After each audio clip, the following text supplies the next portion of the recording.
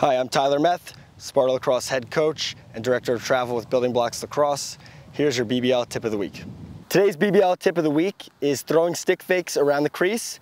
Stelios is going to demonstrate two different types of um, ways to finish more frequently, more often, and increase your angle while also opening up more netting for you to shoot at.